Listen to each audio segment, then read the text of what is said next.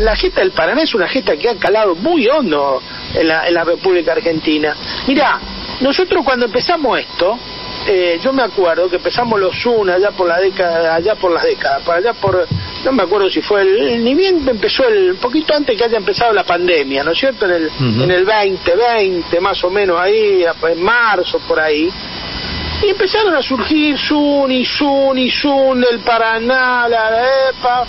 Después, en un determinado momento, unos compañeros hicieron una, una, un relevamiento y había más de 400 grupos dispersos en todo el país de defensa de la soberanía del Paraná.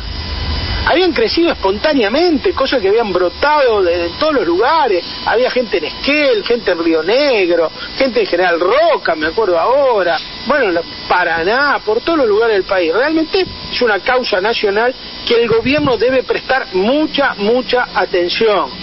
Mucha atención. Hoy Kicillof vuelve a reafirmar que él está en contra de la privatización del río Paraná. En un muy buen reportaje que le hace página 12 dice no hay ninguna necesidad de privatizar y de concesionar ese río.